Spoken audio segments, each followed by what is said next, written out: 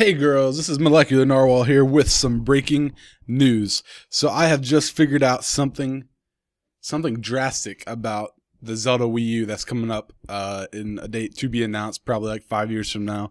Um, some critical things that you need to know right now uh, before you pre-order it because it's out to pre-order before the cover is even released.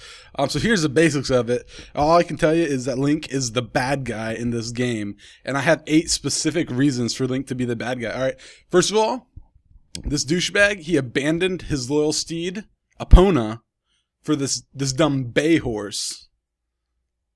Second, he clearly killed a former Link for the sailcloth because we all know it's a highly sought after item. Third, he DDoSes enemies to gain an advantage. Fourth, there's this goat, which is symbolic of the devil. Fifth, he goes about terrorizing innocent horses everywhere. Sixth, Link bravely lures his enemy into civilized areas.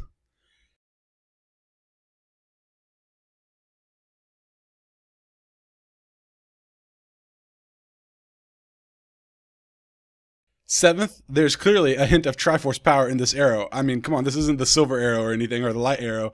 It's some crazy demonic Triforce of power arrow. Wait, what is that? This tower clearly represents a sword piercing the world. It's symbolic of Link wanting to take over with power. Oh no. What is Nintendo doing?